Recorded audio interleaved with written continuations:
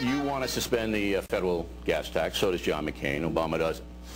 But when I hear that, I say, ah, it's the same old politician stuff. Because the Democratic Party was opposed, is opposed to ANWR drilling. You voted against nuclear energy seven times.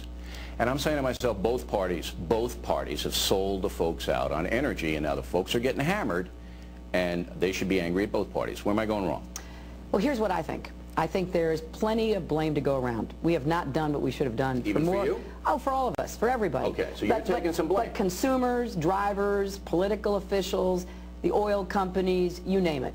We're not acting like Americans, Bill. We're not in charge, and I want to put us back in charge. Okay, so you're going to change take- your votes on drilling and nukes? Well, here's what I'm going to do, and I've said this very clearly. In the short term, I do want a gas tax holiday, but to pay for it by putting a windfall profits tax on the oil companies. Now, what does that mean, though? Well, what, here's what does what that it, mean? Now, look, what it means is that the oil companies have made out like bandits. Right. You know that. Record we all know that, Yeah. right?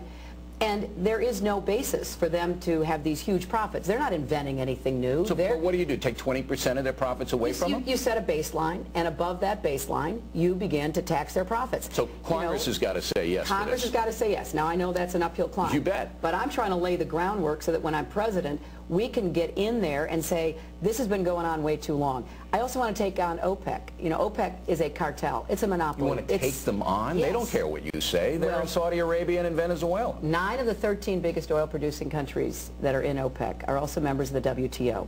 I would file complaints. I would also change the law so that citizens and businesses could file antitrust actions. We're going to begin to hold them accountable. And then if you hold them accountable, they say, well, slap another 20 bucks on the price oil. See, And a lot of our problems today, as you know, are psychological, confidence, trust, um, uncertainty about our economic future, ability to keep our own home. This might give them a little psychological boost. Let's have some straight talk. It's not a huge amount of money, and a little, little psychological. He's the boogie woogie bugle boy of Company B. A toot, a toot, a tooty a toot, he blows it eight to the bar. In boogie rhythm, he can't blow a note unless a bass and guitar is playing makes the company jump when he plays reveille. He's the boogie woogie bugle boy of Company B. He was the boogie woogie bugle boy of Company B. And when he played boogie woogie bugle, he was dizzy as a bzz bee. And when he plays, he makes the company jump A to the bar. He's a boogie woogie bugle boy of Company B. Toot toot toot toot la da toot la da toot toot. Blows it A to the bar.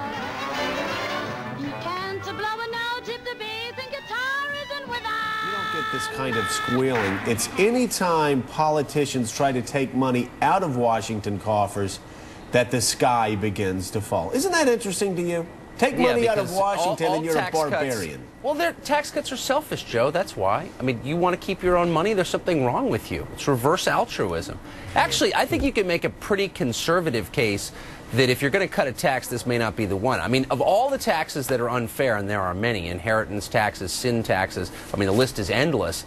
This is at least a tax that pays for something the users do. In other Well, uh, words, yeah, and I we, just we maintain say, the roads you're, by you're taking money exactly from right. people who use them. Conservatives actually love the idea of consumption taxes. That's right, If as you they use should. something, you pay. So yes, I, I agree with you that a gas tax, more of a consumption tax, makes more sense to conservatives. Liberals actually should hate this tax, and liberals should hate this tax because it is a regressive tax.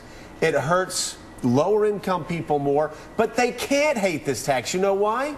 Because Barack Obama's against it. It's one of those profound moral quandaries of modern It, liberalism. it, it is. Could you imagine if John McCain was against cutting the gas tax and Barack Obama was for it to put money back into the pockets of the people who need it the most? The New York Times would say, why is To John tell you the McCain truth, so mean? We could suspend the gas tax for six months, but that's not going to bring down gas prices long term. You're going to save about $25, $30 or half a tank of gas. That's typical of how Washington works.